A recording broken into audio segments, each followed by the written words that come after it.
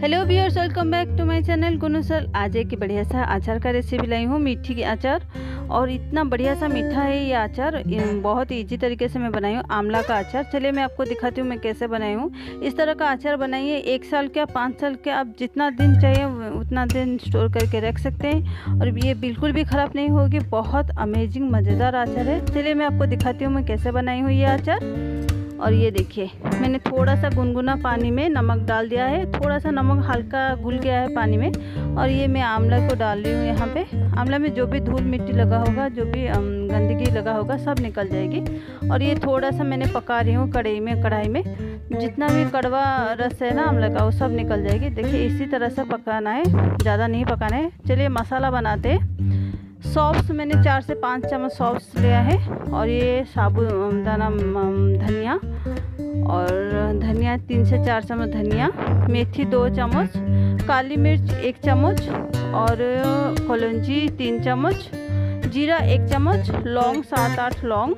इसको मैंने अभी यहाँ पे पैन में डाल के थोड़ा सा फ्राई करना है, जैसे कच्चा आंस निकल जाएगी।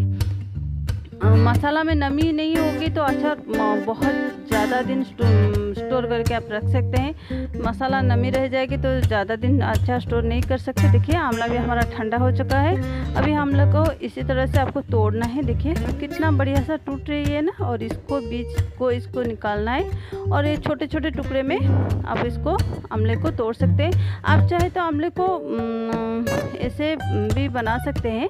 नहीं तोड़ेंगे तो आमले को इसी तरह से बनाना चाहेंगे तो बना सकते हैं, लेकिन बीज निकालेंगे तो खाने में बहुत ज़्यादा मज़ा आएगी।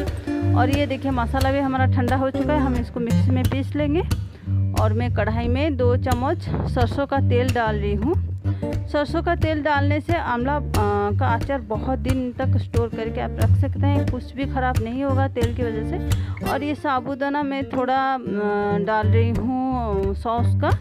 जो क्रंची लगेगी आचार, कॉलंची वन टेबल स्पून और सॉस टू टेबल स्पून मैं तड़का लगा रही हूँ तेल में। ये थोड़ा सा भुन गया है मतलब छिटक गई है सॉस और कॉलंची। और यहाँ पे हम देखिए ये थोड़ा, ये जो आंवला हम तोड़ के रखे थे ना, यहाँ पे हम डाल देंगे। आंवला तेल से थोड़ा सा फ्राई होने के बाद इसका जो टेस्ट है ना, बहुत अमेजिंग टेस्ट आएगी। और खुशबू भी बहुत बढ़िया सा खुशबू भी आएगी। थोड़ा सा तेल में जब फ्राई हो जाएगी आंवला, देखिए, ये थोड़ा थोड़ा करके फ्राई हो रही है। अभी हम और मसाला डालेंगे। ये काला नमक, जो बड़ा वाला काला नमक आता है ना ये, और ये काश्मीर चिली मैं डाल रही हूँ यहाँ पे। हल्दी, आधा टेबल स्पून नमक टेस्ट अकॉर्डिंग नमक नमक है। आप चाहे तो नमक कम ज़्यादा कर सकते हैं। और ये देखिए, कितना कलर हमारा आ चुका है। और ये मसाला जो हम पीस के रखे थे ना, मैं यहाँ पे डाल रही हूँ। ये मसाला मैं यहाँ पे डाल रही हूँ। जितना मसाला हम बनाए ना, उससे सेवेंटी परसेंट मसाला आपको तेल में डालना है। और थोड़ा सा मसाला आपको रखना है। जो आचार जब बन जाएगी, तभी आपको डालना है। कर रही हूँ। मसाला को भूनना है, चार से पाँच मिनट भूनना है, मीडियम फ्लेम में रख के भूनना है। देखिए इस तरह से। और ये कितना बढ़िया सा खुशबू आ रही है। ये थोड़ा सा अजवाइन अजवाइन मैंने क्रश करके यहाँ पे डाल रही हूँ। अजवाइन से अचार का खुशबू भी बहुत बढ़िया सा आएगी और टेस्ट भी बहुत बढ़िया सा टेस्ट भी रहेगी और जितना अचार पुराना होता जाएगा, वो अचार का खुशबू भी और ज़्यादा बढ़ते जाएगी। और अभी हम यहाँ पे डाल रहे हैं गुड़। गुड़ से अचार मैं बना रही हूँ। आप चाहे तो चीनी में भी डाल सकते हैं। और ये देखिए, गुड़ डालने के बाद आपको इसको फ्राई करना है, मिक्स करना है। देखिए, पानी अचार में बिल्कुल भी नहीं जाना चाहिए, क्योंकि पानी डालने से अचार पूरा एकदम ख़राब हो जाएगी।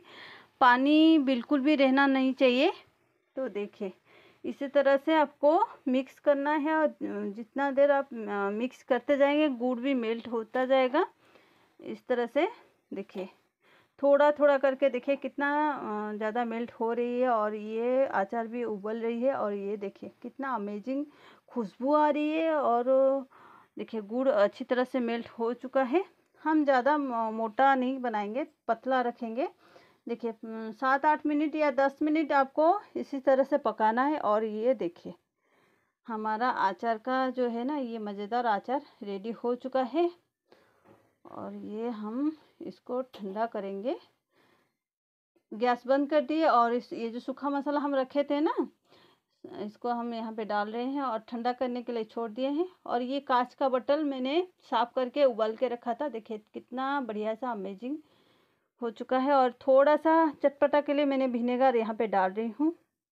थोड़ा सा खटा मीठा आंवला सा पे, आंवला तो पहले से खट्टा मीठा है, लेकिन हम इसको बना रहे हैं, पका रहे हैं तो थोड़ा सा हम सब कुछ मिलाएँगे, मीठा मिलाया, खट्टा मिलाया, नमक भी मिलाया, ये देखिए मैं इसी तरह से बटल में भर भर रही हूँ।